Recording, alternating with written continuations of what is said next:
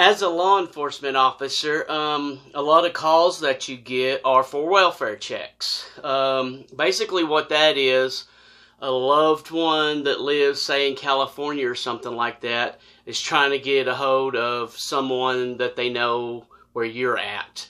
Uh, so they'll call, they'll have you go check to make sure they're okay. So you'll get a call from dispatch, hey, welfare check, blah, blah, blah, whatever address.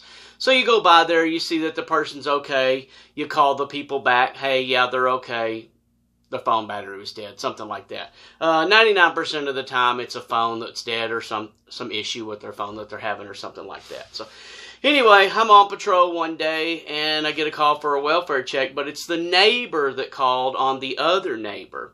So the neighbor wants to meet me at the driveway, so I go there to where I'm going to the welfare check, the neighbor standing in front of the driveway and said, Yeah, oh, I don't even remember the guy's name. So and so was calling Tom.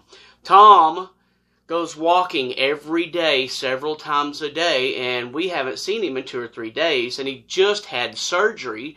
So we just want to make sure he's okay. So me and the guy go down there. He, I drive my patrol unit. He follows me down there. Um, the guy that we're checking on, and this is a nice area, like nice houses. Everybody's got about three or four acres apiece in this community. Well, oh, Tom, he's got himself a little three or four acres, but he's in a camper, a run down, nasty bumper pull camper, trash all around his property. So, very out of character for that area. So the neighbor and I pull up. I'm making my rounds, knocking on the doors, you know, hollering for Tom to come to the door. Nobody comes to the door. So finally, I let the neighbor know, hey, you know, we we're concerned about his safety. I'm going to make entry. So I oh, wiggle the handle. The door's unlocked. So I open the door. I look to my left, nothing. I look to my right. There's Tom standing right there. Like, oh, okay, Tom, you're good. We're we're just checking on you. No response. Tom, you good, buddy? He is stiff as a board. The man died standing up. Uh, this camper that he had, there was the bedroom, bathroom with a tiny little hallway, and then the kitchen area, dinette area. So he, whatever surgery he had, something had broke loose in the middle of the night, and it just all came out the bottom. There was black blood and stool. I mean, it was just a mess. So apparently, what he had tried to do was get to the bathroom. Really tall guy uh, the door, for whatever reason, opened to the outside, you know, to the inside of the camper, away from the bathroom. I guess maybe to block it so you could have privacy in the bathroom. But anyway, so he went to try to open the door, and that was all she wrote, and he died right there. So his knees kind of hit the door, and his back kind of hit the wall. So he just basically standing there, completely dead. So Anyway, I call the coroner, I call the sheriff, I call, you know, uh, investigator in to come in, check out the situation, all that good stuff. Well, while I'm waiting for everybody to get there, I notice he's got a dog chained up. And this is summertime, it's hot, this dog is out of water, it's out of food, so I'm going to be the nice guy. I walk around, uh, find some dog food that the guy had out on his property. I give it some dog food and I push it, you know, with my foot towards the dog. Uh, and then I'm always carrying water in my patrol unit. So I went, got a thing of water, poured it in a bowl, and as I'm pushing the bowl, the dog bites me. Uh, so everybody kind of comes, and I mean, it's bleeding pretty good, and I'm helping them do this, and they're like, what happened? And I was like, ah, the, the damn dog bit me. So they send me to the emergency room to get checked for rabies, all that good stuff. Um, turns out the dog didn't have rabies, you know, after several days of waiting. But anyway, so we get all that done, get all that taken care of. I call, I find the next of kin, which was his daughter. She was living in New York or someplace like that.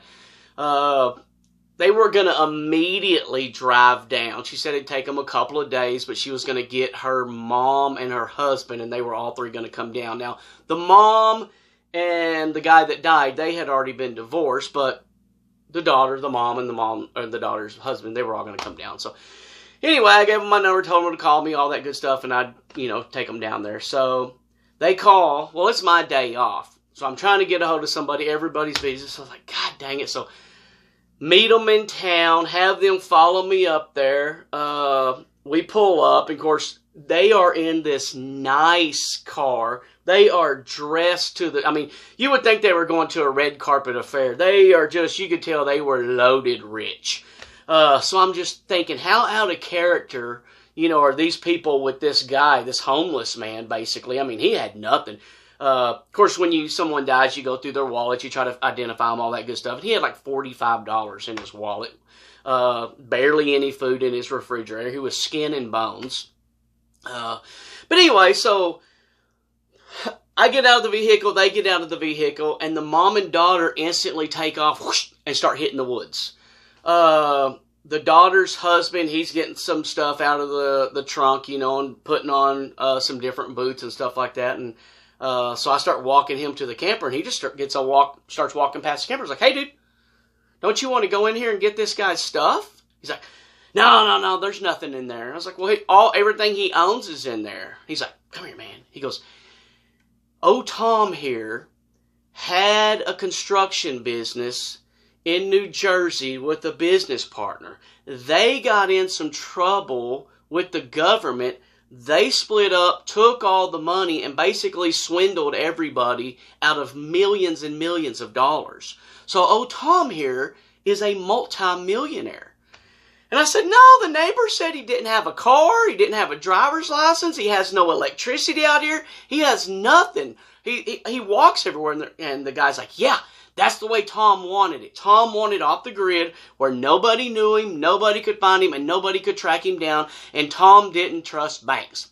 Tom hid his money everywhere, so there is hundreds of thousands, if not millions of dollars hid on this little piece of property somewhere, and we're here to find that. And once we find that, we're gone. And whatever y'all want to do with the rest of this crap, you can you can do with it whatever you want. Like, wow, okay, so Anyway, I get my patrol unit and I drive away, and just it, it just blew my mind that they could care less about Tom. Could care less. They just they were in the nicest clothes. It was 110 degrees. There's ticks, there's chiggers, everything.